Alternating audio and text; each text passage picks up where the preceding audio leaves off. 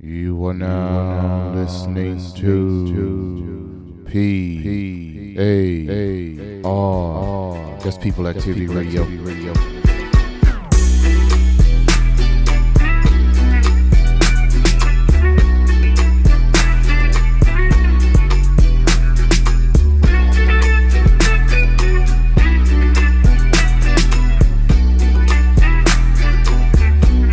if you do not understand white supremacy, what it is and how it works, everything else that you understand will confuse you. Confuse you. Confuse you. hunt is on, is on, is on, is on, is on. And you're the prey, the prey, the prey, the prey, the prey. You can't change the game.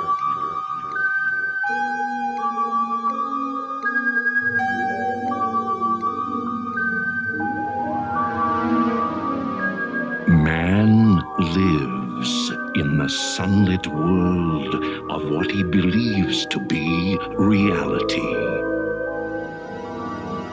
But there is, unseen by most, an underworld, a place that is just as real, but not as brightly lit. A dark side.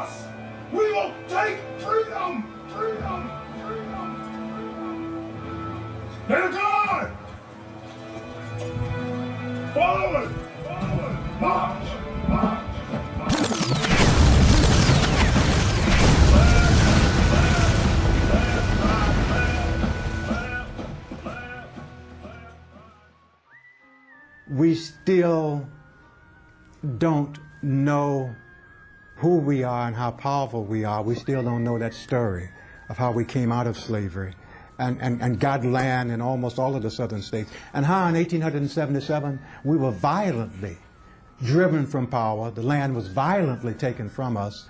And people tried to reduce as many black people as they could to sharecropping. But before that happened, there were a number of men across the South. George Reed was one of them, who, who, who found the stake, who created the stake, and a number of them who maintained it for several years. In the Civil War, contrary to what we've been told everywhere, uh, African Americans, male and female, played a major role in emancipating themselves. And as I have indicated in the book I wrote recently, black men did as much as anybody else to, to, to, to emancipate black people and to help emancipate America. Uh, some 200,000 black men fought in the Union Army, and Lincoln and Grant and other people said the war, we couldn't, the Union could not have won that war without the help of these 200,000 or so black soldiers who, who fought in the war. And uh, as a result of that, at the end of the war, radical Republicans like Charles Sumner, Thaddeus Stevens, and uh, Frederick Douglass and Harriet Tubman fought for and achieved the 13th Amendment, the 14th Amendment, the 15th Amendment, and civil rights bills, the strongest civil rights bills ever passed in this country, bar none. Because of that, uh, uh, black people had this moment of power for about 10 years, from about 1867 to 1877. They elected the first black governor, uh, were responsible for electing the first black governor. PBS Pinchback back in, in Louisiana, the first black lieutenant governors. Uh, that, was, that was a majority, a black majority in the South Carolina legislature. All this happened in the 10 years between 1867 and 1877. And uh, then, in, in, in, a reactionary period remarkably similar to this period, uh, they were driven from power and they were systematically uh, uh, disenfranchised, etc. So in 1876, the last great election of that period, uh, when the revolution occurred in 1876, then in 19, 1877 there was a compromise, what they call the Compromise of 1877, and white Northerners and white Southerners agreed to to to to to ignore the 13th, 14th, I mean 14th and 15th Amendment and we were driven back towards slavery. And as a result of that, uh, sharecropping was, was, was installed, initiated, and we did not really get out of this period until the great uh, freedom movement of the middle of the 20th century. But the compromise of 1877 is, for me, that the, the, a major marking point of African American history in this country. History in this country. History in this country.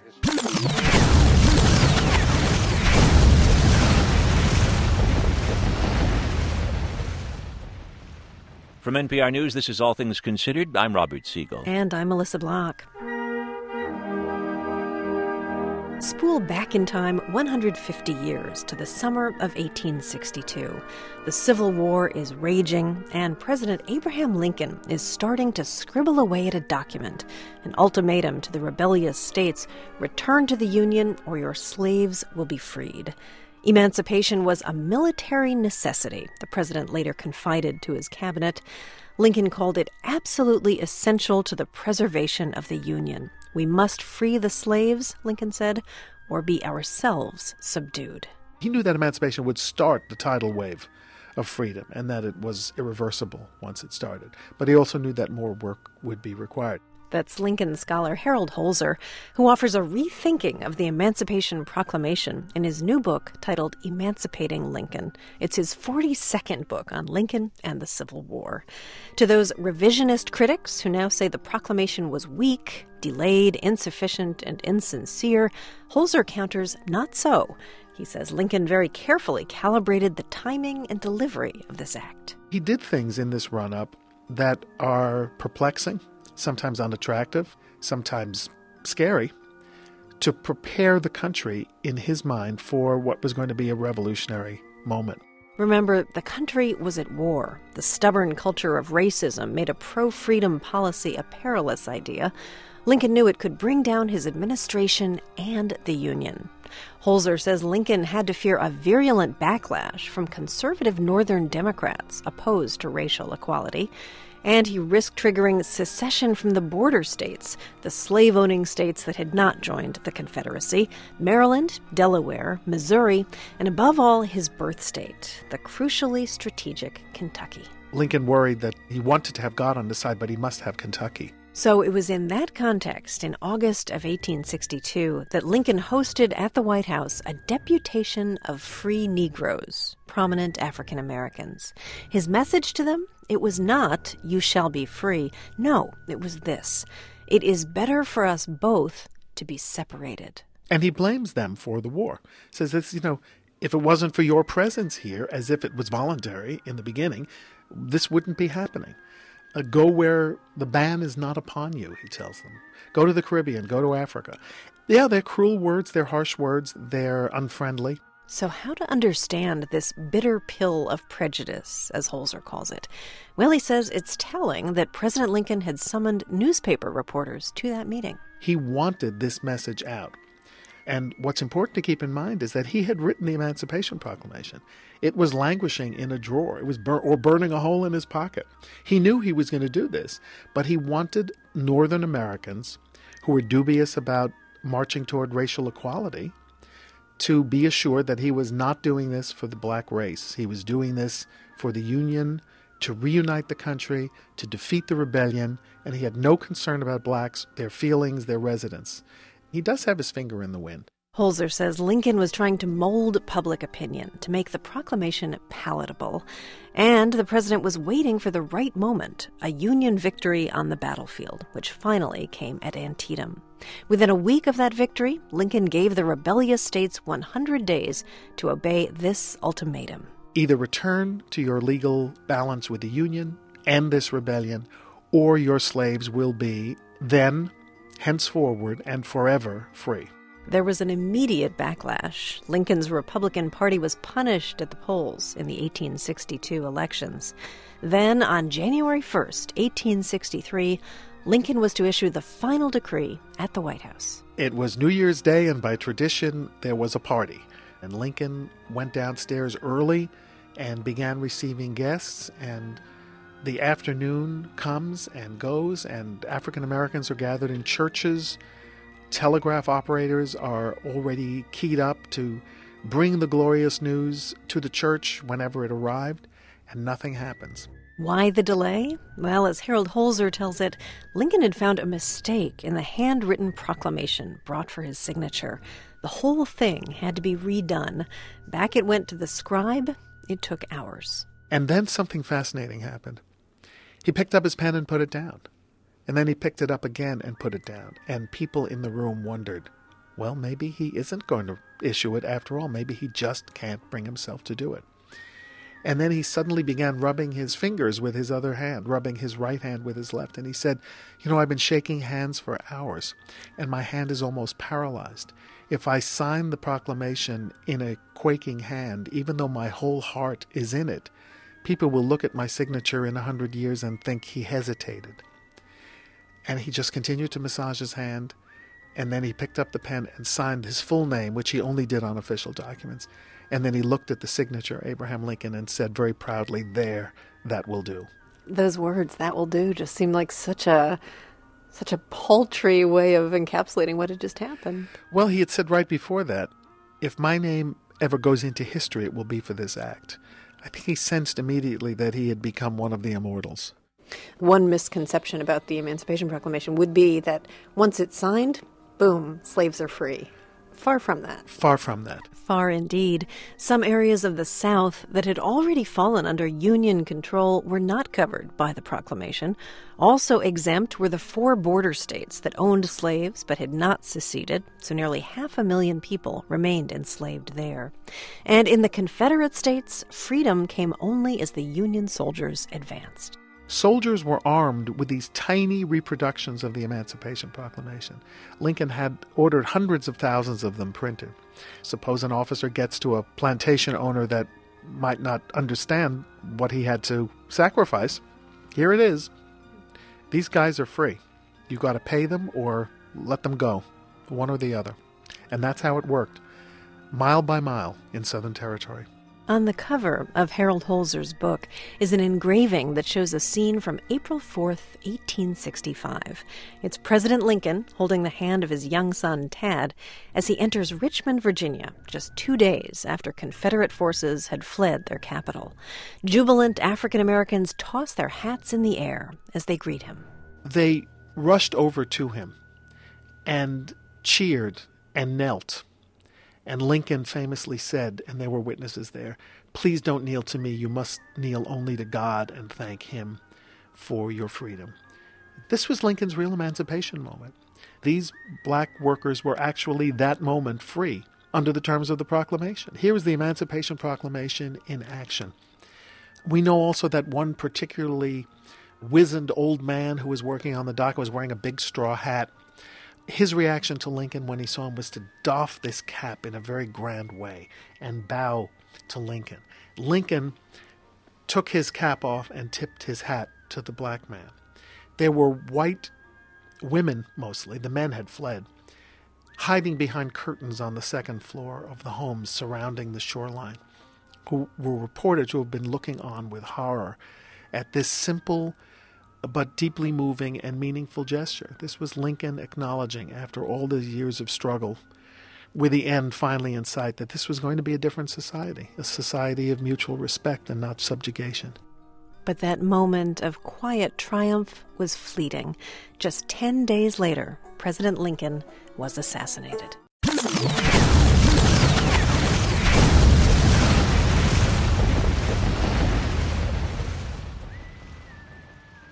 Today, the federal government observes Juneteenth. The holiday marks the arrival of U.S. Army troops in Galveston, Texas on June 19, 1865. The troops told some of the last enslaved Americans that they were free.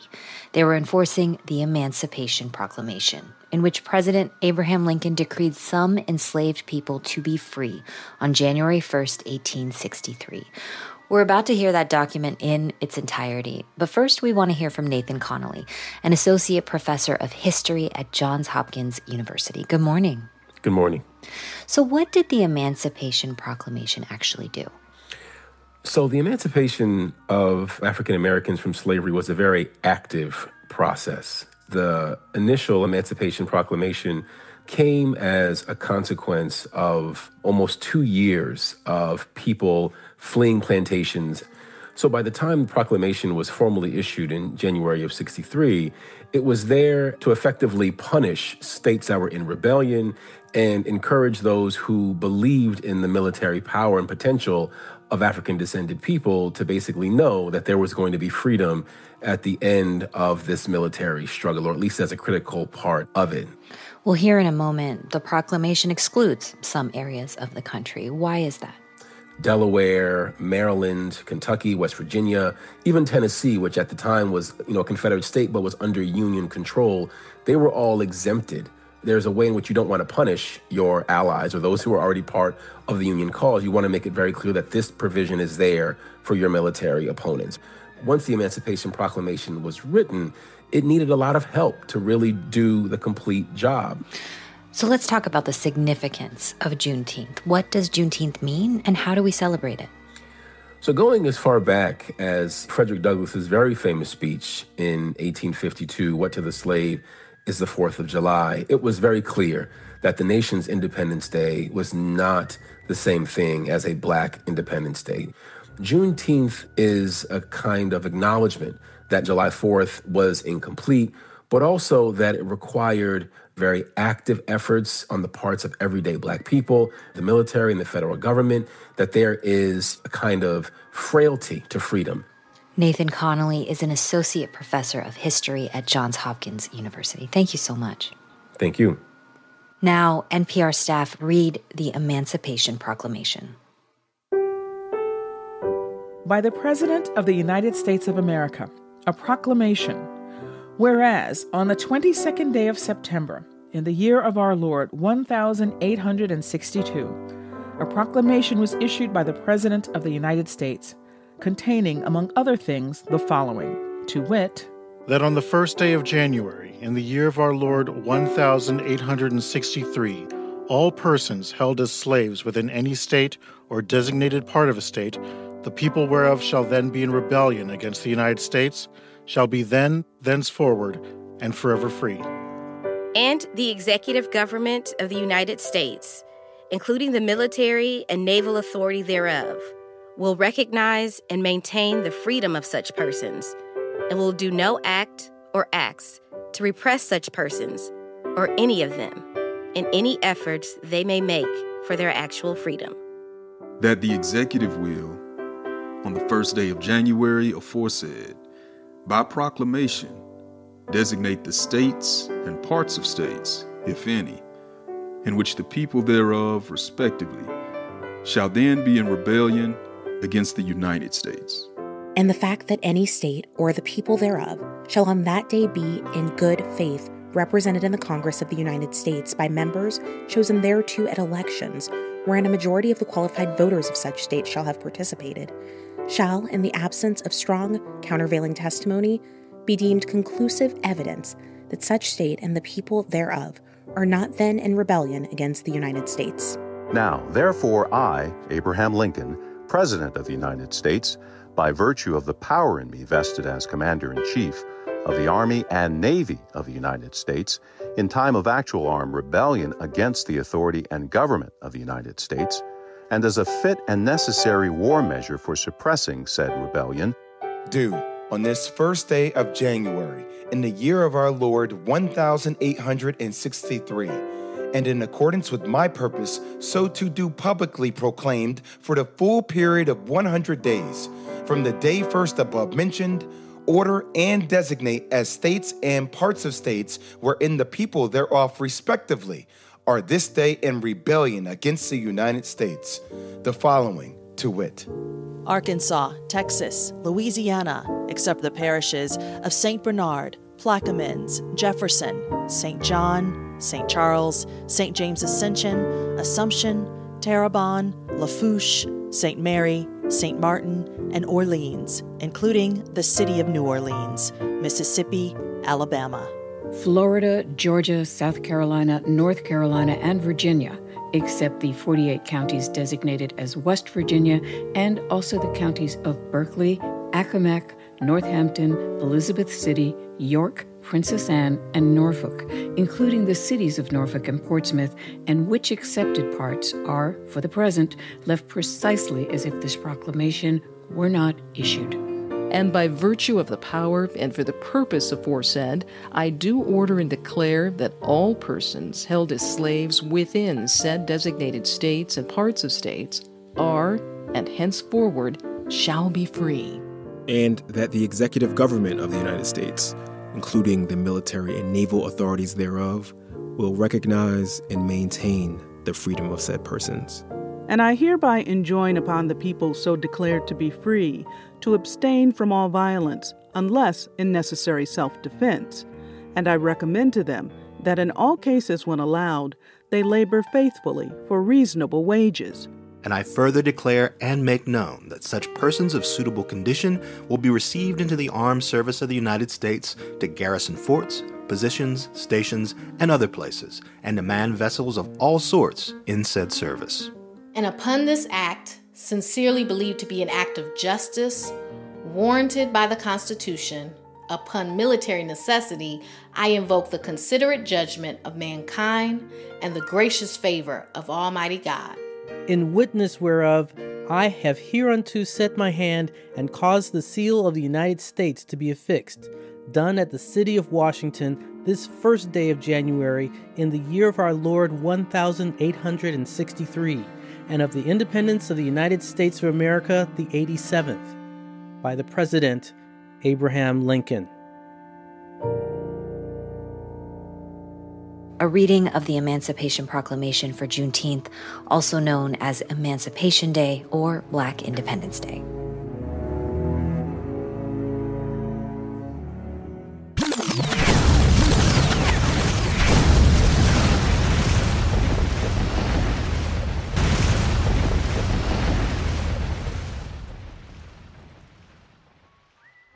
In the Civil War, contrary to what we've been told everywhere, uh, African Americans, male and female, played a major role in emancipating themselves.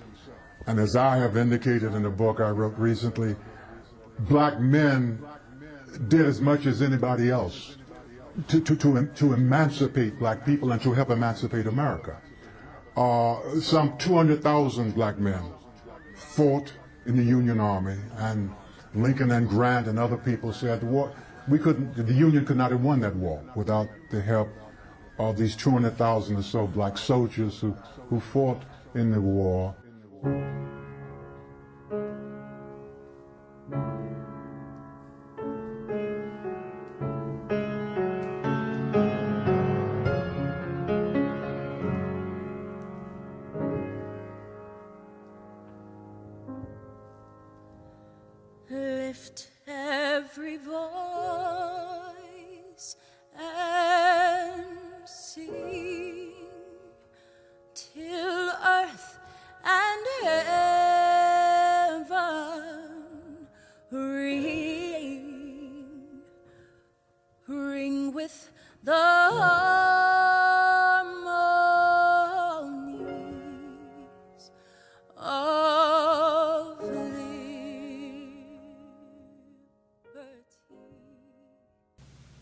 Truth is that African Americans played a critical role in their own liberation, and this story needs to be told and celebrated.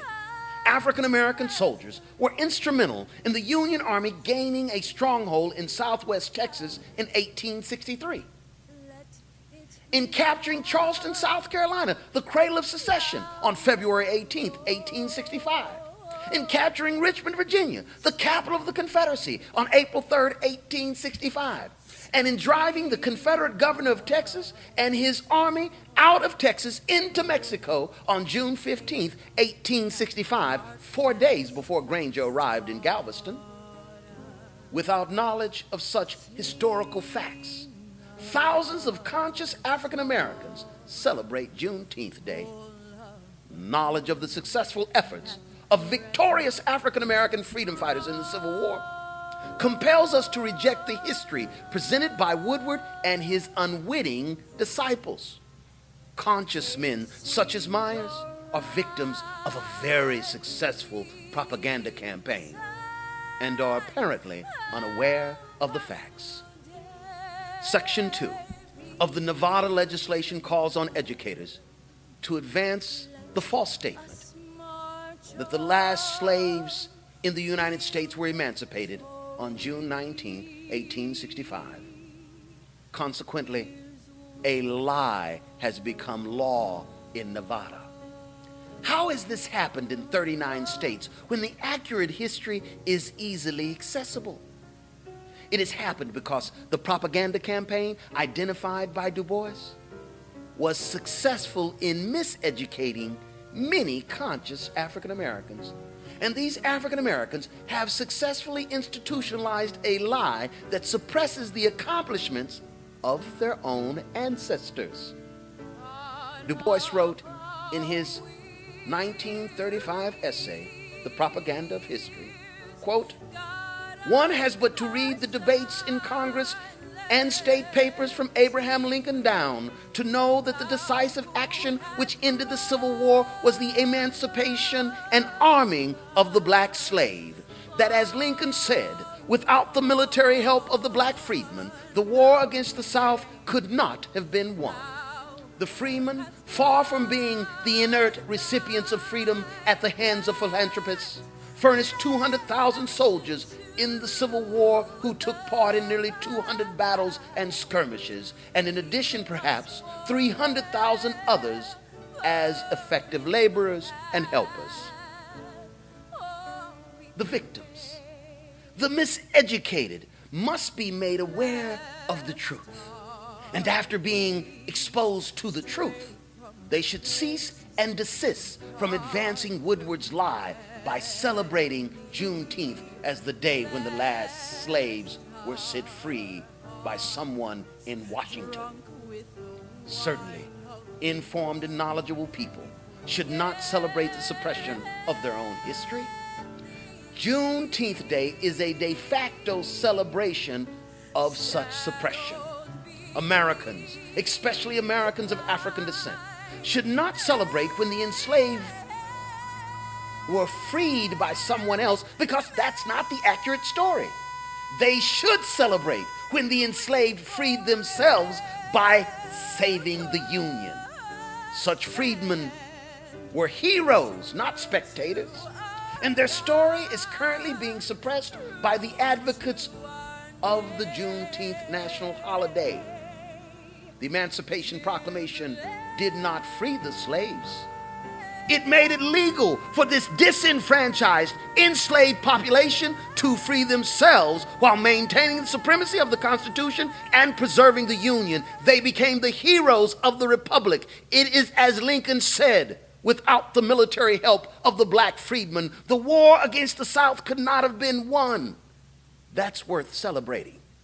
That's worth telling the story of how Americans of African descent helped save the Union and freed themselves. Let's celebrate the truth, a glorious history, a story of a glorious march to liberty, to liberty, to liberty. Sing a song full of the faith that the dark past has taught us.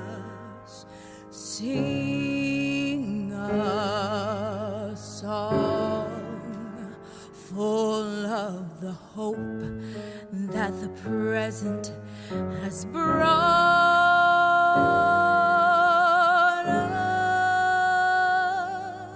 us. Facing the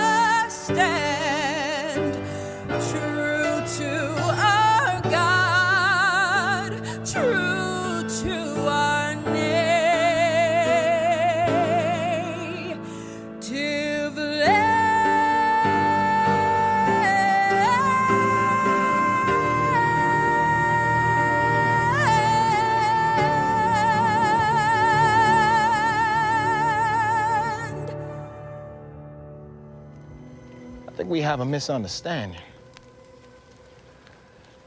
I think we're runaways. We didn't run away from our master. No, we did. We killed him. We killed him. We killed him. All right, fellas, Now, here's what's gonna happen, Cracker. He's gonna cut that man loose. And he right here, he's gonna put a ball in your damn brain if you move an inch. If you move an inch. Documented and verified, no allegories. Tutamami, tattoo, rutta, sussex, compensatory. I'm the spirit of justice up in your ears, man. Once I enter your mind, I use a feared man. I'm advocating for counter violence that's real, man. Straight, no chase to your soul. This you gon' feel, man. Ain't no shucking, skinning, grinning, that's real, man. I work these hands to the bones, registers, feel hands. Cold mind, cold soul, I'm frostbitten. Ain't no Christ in my life, my prayers all vengeance. Be a boss and his dog, little sisters, hush puppies. Sister poison them, hush puppies, now hush puppies. Conjure hoodoo and voodoo, JGH study, buddy. Swamp butchers, maroon hitters, we cut it, buddy. Guerrilla warriors, machete toters, we cut it, cut it. Musket ball to his dome, waxy a rutter, sussy. And then one thing they don't want the rumor to get out. Now this slave is always grumpy. always complaining about everything. Don't like nothing. Don't like the food, don't like the plantation. Can't stand the master.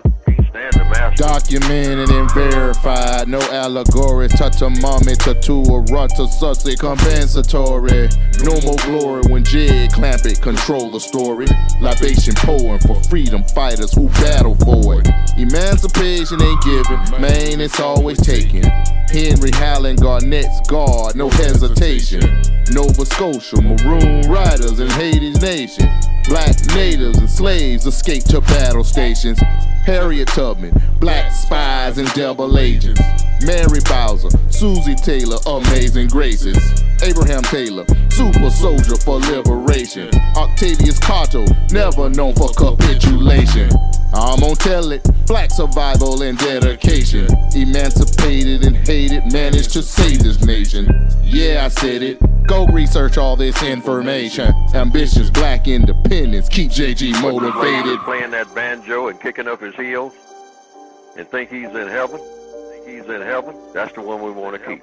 Mm. A grumpy slave might slip up behind you any dark night with an axe.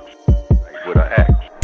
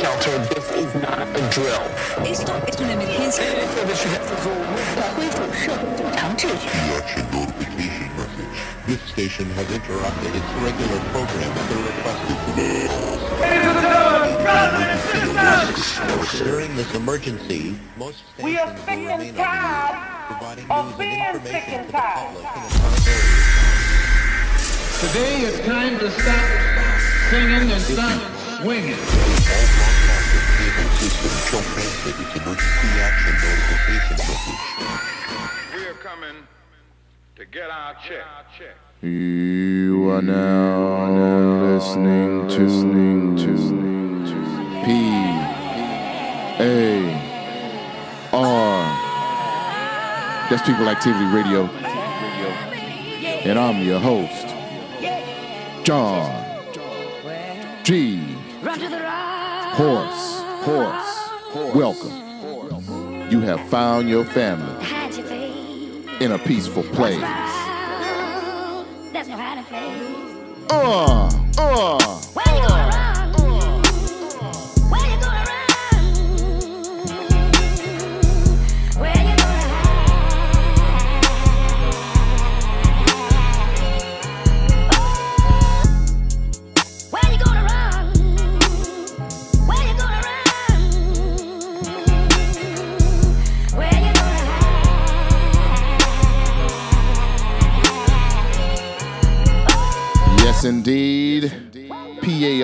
Is a family friendly information distribution program seeking to inform non white people, in particular, black classifieds, and assisting and counter racist codification People Activity Radio can be found at peopleactivityradio.com. That's peopleactivityradio.com. On Twitter at John G. Horse. On Instagram at j.g.horse. On our YouTube channel titled People Activity Radio. On SoundCloud channel titled People Activity Radio. Our Tumblr page titled People Activity Radio. On Spotify titled People Activity Radio. Apple Podcast. Stitcher, iHeartRadio, and all other podcast platforms. If you find this information constructive, please subscribe, like, and share. If you find this information constructive, please subscribe, like, and share. And we're gonna let the grand sister, Bobby Womack, Jealous Love, take that thing to the bridge. Uh,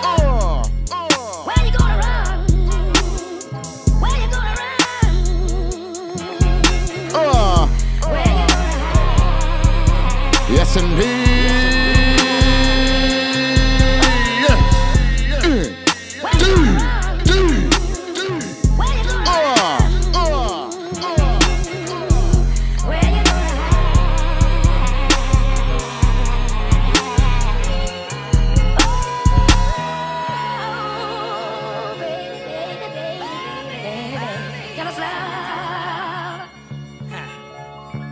Apologize in advance.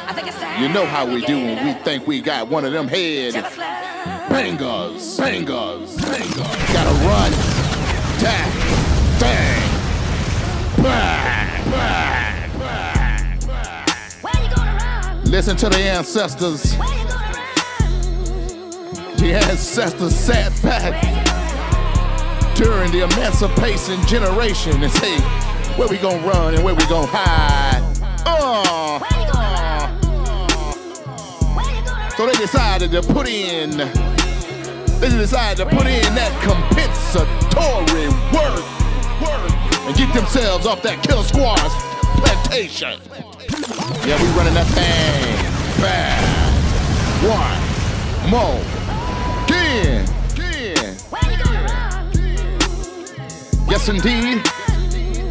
Yes, indeed. Yes, indeed. Is that what the ancestor said? Is that what the emancipation generation said? We gotta solve this problem with questions and provide answers to these questions. Question. The question was, where you gonna run, where you gonna hide? We might as well put our foot down right here, right here, and put in some work. Some work. Hold on. Run that thing back, run that thing back. I don't think that y'all hear me. Hear me. Y'all know how we do. Talk to him, Bobby. Bobby Womack, talk to him. Talk to him. Talk to him.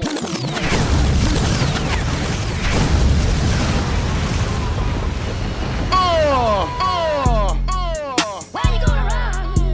Is that what sweet queen mother, mother Harriet Tubman was asking when she put her foot down in the soil and put in that work? Uh, uh.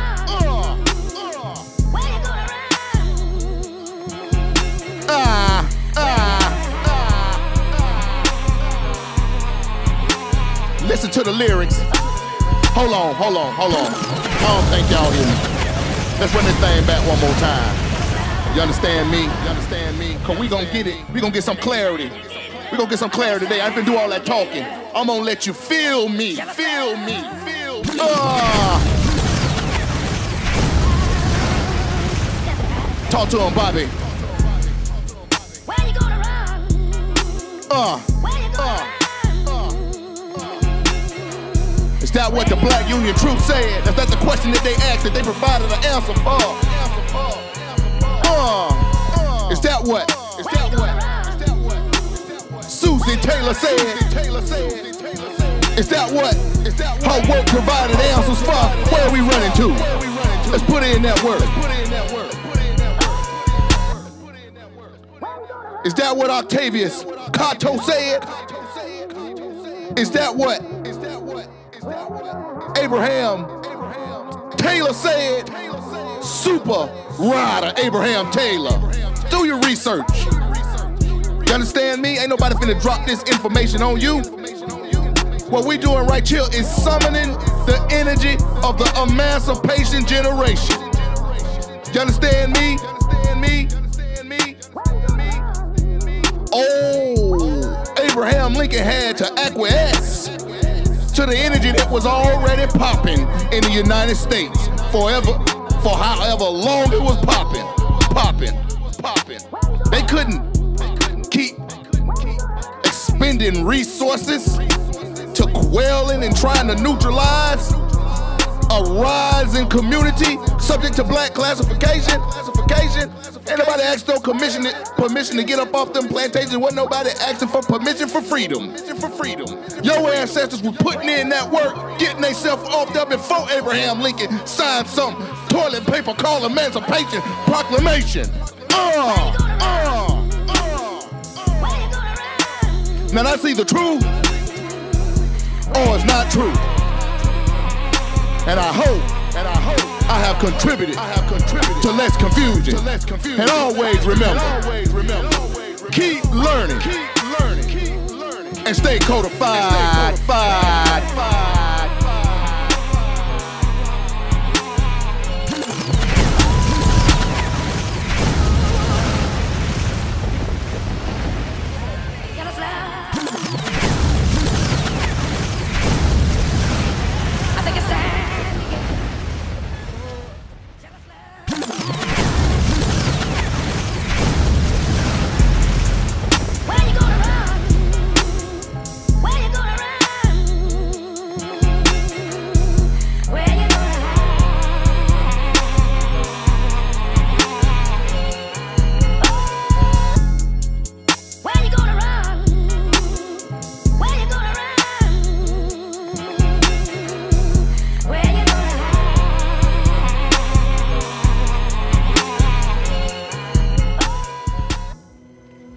have a misunderstanding. You think we're runaways. We didn't run away from our master. No, we did. We killed him. We killed him. We killed him. All right, fellas, Now, here's what's gonna happen, Cracker. He's gonna cut that man loose. And he right here, he's gonna put a ball in your damn brain if you move an inch. If you move an inch. Documented and verified, no allegories. Tutamami, tattoo, rutta, sussy, compensatory. I'm the spirit of justice up in your ears, man. Once I enter your mind, I use a feared man. I'm advocating for counter violence that's real, man. Straight, no chase to your soul. This you gon' feel, man. Ain't no shucking, skinning, grinning, that's real, man. I work these hands to the bones, registers, feel hands. Cold mind, cold soul, I'm frostbitten. Ain't no Christ in my life, my prayers all vengeance. Fear boss and his dog, little sisters, hush puppies.